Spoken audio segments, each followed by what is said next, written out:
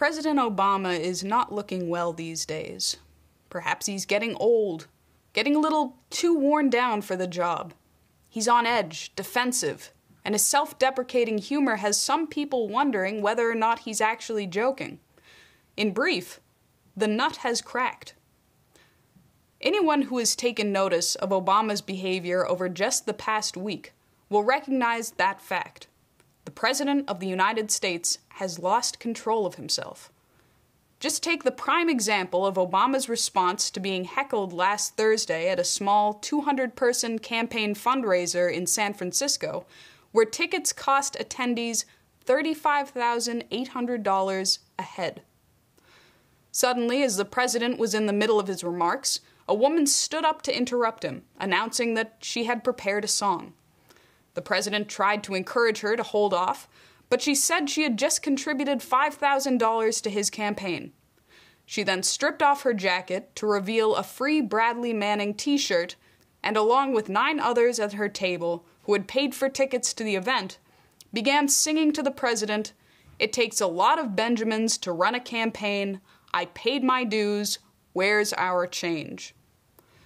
Following the serenade, Obama turned to Nancy Pelosi and asked audibly, Nancy, did you do this? He then made a poor attempt to recompose himself and, enraged, managed to choke out, That was a nice song. Continuing, over the last two and a half years, change turned out to be tougher than we expected.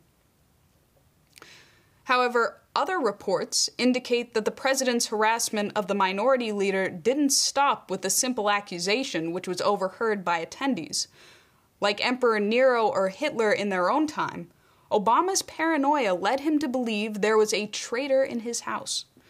And Pelosi's opposition to Obama's own backstabbing budget agreement with Republicans was enough evidence for the poor psychopath to cause his outburst accusing Pelosi of sabotaging the event. Of course, that was just one event. Perhaps his collar was overstarched or his head wasn't put on straight that morning.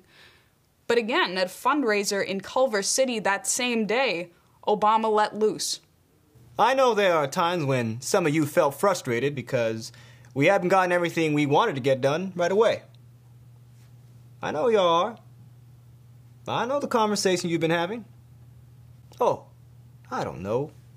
I don't like that compromise with the Republicans. I don't know. That health care thing? Why did it take so long? I don't know. Obama? He's older now. He used to look so fresh and exciting. I still have that poster. But I don't know.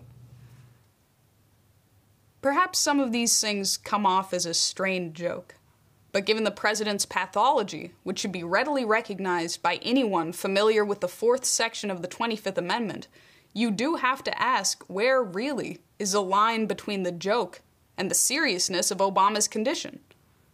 Take his speech to another West Coast fundraiser following a town hall meeting at Facebook.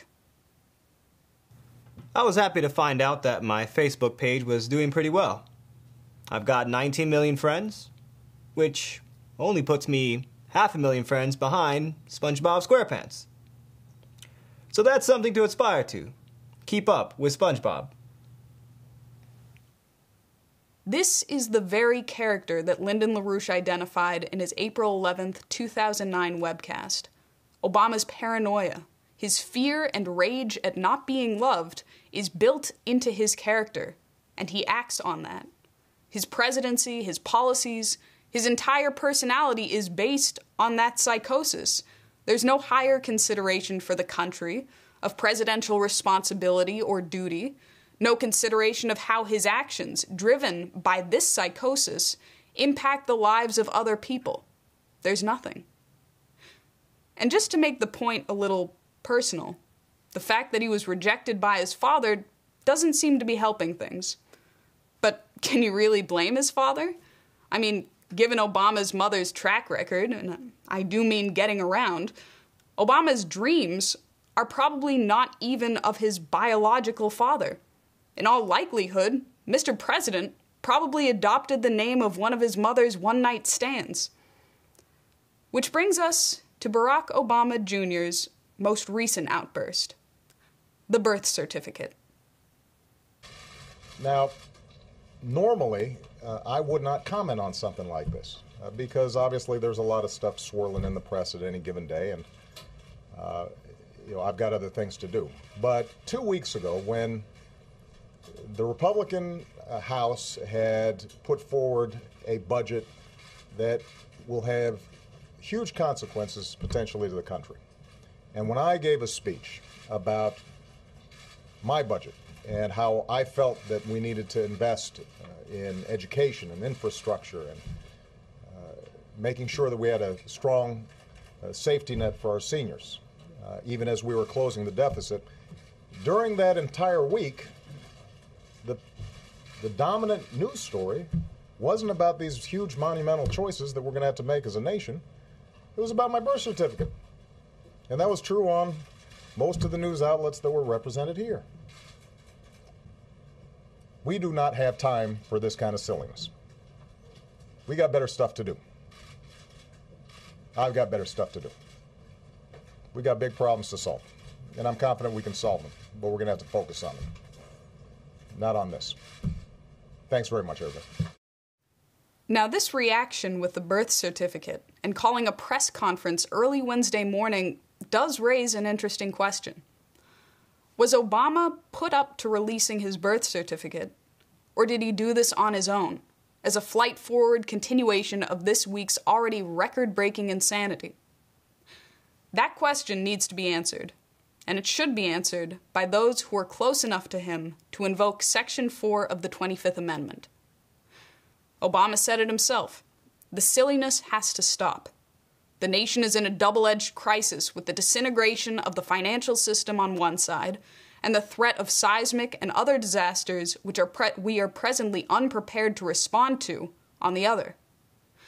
Glass Steagall, which is the only thing that can save the nation on both of those fronts, is now a bill sitting in front of the Congress, and Obama is prepared to veto it.